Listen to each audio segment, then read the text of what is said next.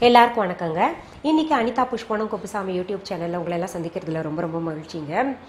புதுசாக சப்ஸ்கிரைப் பண்ணுறவங்களுக்கு வழக்கமாக சொல்லக்கூடியது ஒன்று தான் சப்ஸ்கிரைப் அப்படின்னு ரெட் பட்டன் காமிக்கும் இல்லையா? அதை நீங்கள் அழுத்திட்டு பக்கத்துலேயே பார்த்தீங்கன்னா பெல் ஐக்கான் அதாவது கோயில் மணி போன்ற ஒரு வடிவத்தை காமிக்கும். அதை தொட்டு விடுங்க. அப்போ தான் பார்த்தீங்கன்னா உங்களுக்கு நான் என்னென்ன பதிவுகள் போடுறேனோ அதெல்லாம் உங்களுடைய கவனத்திற்கு வந்து சேரும். என்னோட வீடியோ பார்த்துக்கிட்டு இருக்கும்போது முக்கோணம் போல ஒரு வடிவம் காமிக்கும்.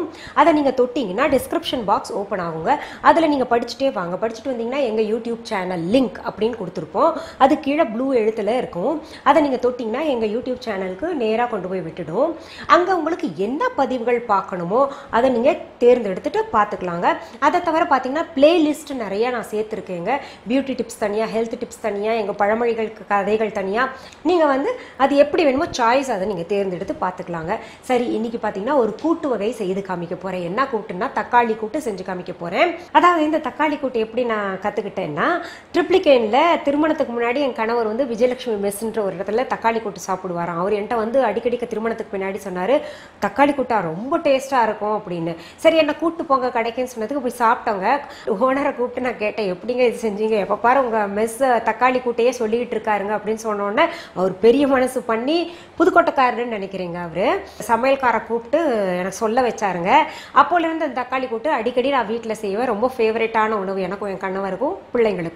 இப்போ அந்த தக்காளி கூட்டு செஞ்சு காமிக்க போகிறேன் முதல்ல அதற்கு தேவையான பொருட்கள் என்னென்னு பார்த்துடலாம். கொஞ்சம் காய் வெட்டா இருக்கக்கூடிய நாட்டு தக்காளி எட்டு. சின்ன வெங்காயம் இருபது. பூண்டு பற்கள் பதினைந்து. பச்சை மிளகாய் இரண்டு சிகப்பு மிளகாய் இரண்டு. உளுத்தம் பருப்பு ஒரு டீஸ்பூன். கொத்தமல்லி இலைகள் இரண்டு டேபிள் ஸ்பூன். கடுகு முக்கால் டீஸ்பூன். சீரகம் முக்கால் டீஸ்பூன். மிளகாய்த்தூள் ஒரு டீஸ்பூன். மஞ்சள் தூள் அரை டீஸ்பூன். எண்ணெய் தேவையான அளவு. உப்பு தேவையான அளவு. கறிவேப்பிலை இரண்டு இருக்கு. இப்போ நம்ம சின்ன வெங்காயம் பார்த்தோம் பூண்டு பல் பார்த்தோம் இல்லையா? அதெல்லாம் வந்து பார்த்தீங்கன்னா நீள நீளமாக நைஸாக நறுக்கிக்கோங்க. பொடி பொடியாக இல்லை. இது பாருங்க. நீள நீளமாக இருக்கு பாருங்க. சின்ன வெங்காயமும் நம்ம நீள நீளமாக நறுக்கணுங்க இப்படி. நைஸாக தக்காளியும் பார்த்தீங்கன்னா நீட்ட வாக்கில் இந்த மாதிரி நறுக்கணுங்க. ஸ்லைஸ் பண்ணுவாங்களே அந்த மாதிரி. இப்போ உங்களுக்கு நாட்டு தக்காளி கிடைக்கல அப்படின்னா கவலைப்படாதீங்க. பெங்களூர் தக்காளி கிடைக்குது இல்லையா? அதை நீங்கள் கொஞ்சம் காய் வெட்டா வாங்கிக்கோங்க. ரொம்ப குழஞ்சது வாங்கினீங்கன்னா நல்லா இருக்காது கூட்டு நல்லா வராது. பாதி காய் பாதி பழமாக இருந்தால் அப்படி இல்லைன்னா முக்கா வரைக்கும் நீங்கள் வாங்கலாங்க. அதுக்கு மேலே நீங்கள் போக வேண்டாம். இப்போ நம்ம அடுப்பை பற்ற வச்சுங்க. ஒரு பேன் வச்சிடலாம். அதில் தேவையான அளவு எண்ணெய் ஊற்றிக்கலாங்க ஒரு ரெண்டு டேபிள் ஸ்பூன் அளவு ஊற்றிக்கலாங்க இதில் மொதல் வந்து நம்ம உளுத்தம் பருப்பு சேர்த்துக்கலாம். அடுத்தது கடுகு சேர்த்துக்கலாங்க.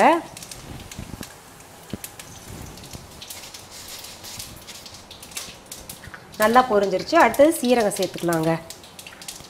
அடுத்தது இந்த மிளகா ரெண்டையும் சேர்த்துக்கலாம். அடுத்தது சின்ன வெங்காயம்.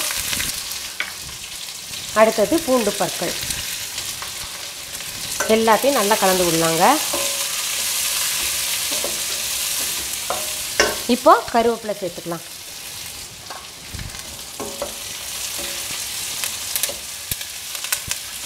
நல்லா வதக்கலாங்க. பச்சை வாசனை போகணும். நல்லா வதக்கி விடணும்.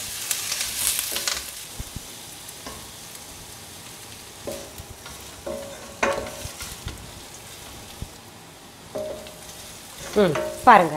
இப்போ இந்த சின்ன வெங்காயம் இருக்கு இல்லையா? நல்லா பேபி பிங்க் கலரில் வந்துருச்சு பாருங்கள் பாருங்கள் நிறம் மாறிடுச்சுல்ல? அதில் பச்சை வாசம் போயிருக்கும் நல்லா. இப்போ இந்த தக்காளியை வந்து சேர்த்துக்கலாம். இதில் மிளகாய் தூள் சேர்த்துக்கலாங்க. அடுத்தது மஞ்சத்தூள் சேர்த்துக்கலாம்.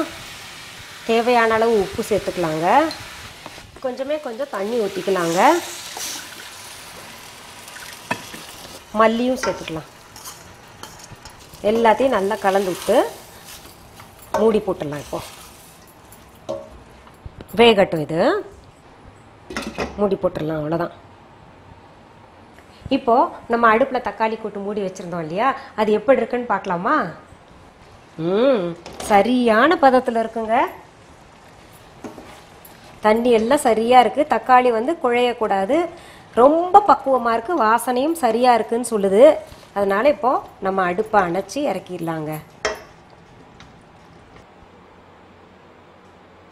பாருங்க எவ்வளோ கலர்ஃபுல்லாக இருக்குல்ல? இதெல்லாம் அரிஞ்சுங்க. நம்ம சமைக்கிறதுக்கு பார்த்தீங்கன்னா அஞ்சு டு பத்தே பத்து நிமிஷம் தாங்க. ரொம்ப குழையெல்லாம் விடக்கூடாது. பத்து நிமிஷத்தில் நமக்கு தக்காளி கூட்டு ரெடி ஆயிரும். யாராவது அவசரமாக வந்தாங்கன்னு வைங்களேன் இது செஞ்சு கொடுத்துடலாம். இது என்னென்னா உங்களுக்கு நான் ஆஸ் யூஷுவல் சொல்கிற மாதிரி தான் பூரி சப்பாத்தி தோசை கூட நல்லாயிருக்கும் சாதத்து கூட ரொம்ப பிரமாதமாக இருக்கும். எந்த குழம்பும் வைக்க வேண்டாங்க.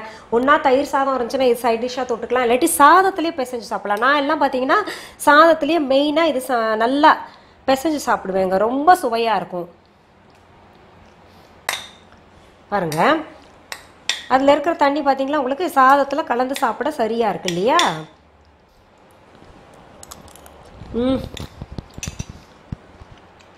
ரொம்ப நல்லா இருக்கு. அது என்னமோ தெரியல. உங்களுக்கு செஞ்சு காமிக்கும் போது இன்னும் கூடுதல் சுவையாக தெரியுது எனக்கு. ரொம்ப நல்லா இருக்குங்க. நீங்கள் செஞ்சு பாருங்களேன். ஒரே மாதிரி சமையல் சமைக்கிறதுக்கு விதவிதமாக சமைச்சு கணவர் அப்படியே அசத்துருவில்ல அப்போ தான் பார்த்தீங்கன்னா நிறைய கிஃப்டெல்லாம் எல்லாம் கிடைக்குதாமே உங்களுக்கு. நல்லது சந்தோஷம் இல்லையா? சரி உங்களுக்கு இது பிடிச்சிருந்ததுன்னா உங்கள் தெரிஞ்சவங்க எல்லாருக்குமே ஷேர் பண்ணுங்கள் கமெண்ட் பாக்ஸில் கமெண்ட் பண்ணுங்கள் மீண்டும் சந்திக்கலாமா? நன்றி வணக்கம்.